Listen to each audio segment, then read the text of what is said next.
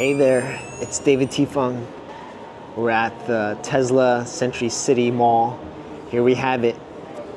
Tesla Cybercab Robo Taxi number nine, we're told, on display here in its beauty and glory. Look at that sheen and shininess, the gold plates on the tires. That brings proportion and aesthetics out with the wheels, making it look larger with those grand butterfly wing doors here and that front light bar. Let's actually move around to the other side here as we walk through the store.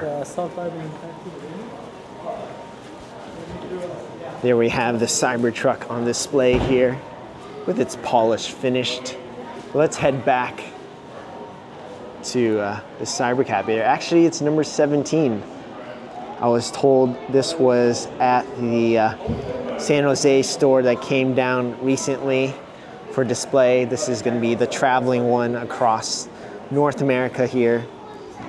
We got that single rear light bar, similar aesthetic to what the Tesla Model Y Juniper will be. But there we got the wing display doors.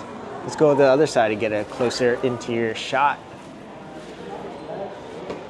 There we have that large display there with the wing doors and its beauty. But with that, rumors, messages told, we know this is going to be active in Austin in 2025. But what are your guesses on ownership when the public will be able to own this and have a fleet and let it drive robo taxi style? Appreciate you coming on the venture. Keep going and stay heartful.